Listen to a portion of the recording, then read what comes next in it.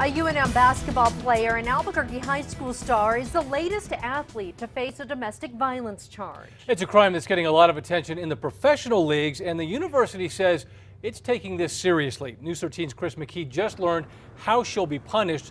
Chris is live at the pit. Chris? Yeah, Dean and Jess, Lobo women's head coach for basketball, uh, Yvonne Sanchez, just addressed the media and said that Ebony Walker is suspended from the team indefinitely. She won't be allowed to practice with the team, and she will definitely not be allowed to play in this Sunday's upcoming exhibition game. People put their hands on each other, and when people put their hands on each other in a uh, angry manner, it's not okay. Either way, it's not okay. And I, I, I don't take it lightly. I take it very seriously. Walker was arrested Tuesday after a fight with her boyfriend at an apartment near Gibson and Girard. Witnesses heard the two arguing and then saw Walker throw a knife at the boyfriend. It didn't hit him. Police say Walker and her boyfriend admitted to pushing each other. She was bruised in the fight. Walker is a New Mexico basketball standout who helped Sandia High win a state championship in 2010. She played at Texas Tech as well, but then transferred to UNM. UNM tells us this is the first domestic violence case involving a student athlete it's ever had to deal with. The issue has gotten a lot of national attention because of incidents involving NFL star Ray Rice and also NBA star and Hobbs native Jeff Taylor. The director of a local domestic violence center says that not just UNM, but the entire community needs to address the problem.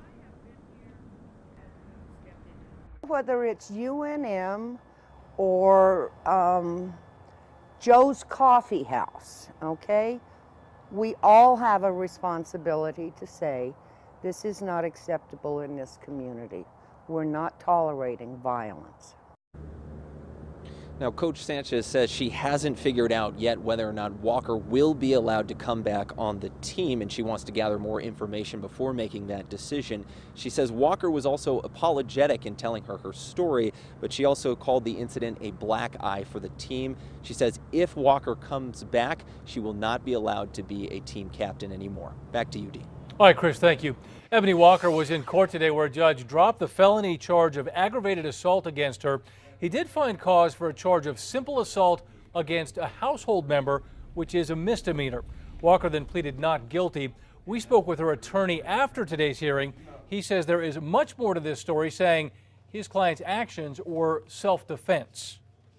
And so uh, I guess I'm asking people to put themselves into a scared 22 year old who's never been in trouble's shoes and thinking that she might have to defend herself from something more than what had already occurred. Walker is already bonded out of jail. The judge today ordered her not to have any contact with the alleged victim. She is still allowed to travel with the basketball team.